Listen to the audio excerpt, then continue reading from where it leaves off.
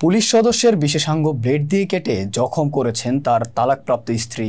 মঙ্গলবার বিকেলে নড়াইলের একটি আবাসিক হোটেলে অন্তরঙ্গ সময় কাটানোর সময় এই ঘটনা ঘটে। সেখানকার হাসপাতাল থেকে চিকিৎসা দেওয়ার পর সন্ধ্যায় তাকে যশোর জেনারেল হাসপাতালে ভর্তি করা হয়। আহত ইমদাদুল হক নড়াইলের লোহাগাড়া উপজেলার আমদা গ্রামের বজলেয়ার হকের ছেলে। তিনি যশোর পুলিশ লাইনের নায়ক পদে কর্মরত। ইমদাদুল হক জানান, ডলি নামে তার একজন স্ত্রী ছিল। সম্প্রতি তার সঙ্গে বিবাহ বিচ্ছেদ হয়েছে।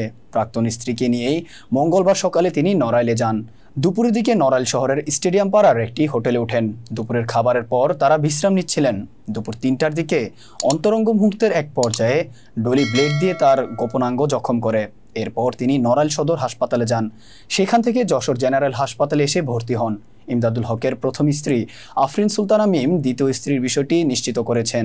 তবে এ বিষয়ে তিনি কোনো কথা বলতে রাজি হননি। যশোর জেনারেল হাসপাতালের আবাসিক মেডিকেল আব্দুস সামাদ জানান, ইমদাদুল হকের বিশেষাঙ্গের বেশিরভাগই কেটে গেছে, সেলাই করা হয়েছে। তবে অঙ্গটি ব্যাপকভাবে ক্ষতিগ্রস্ত হয়েছে, যে কারণে তাকে উন্নত চিকিৎসার জন্য ঢাকায় স্থানান্তর করা হয়েছে।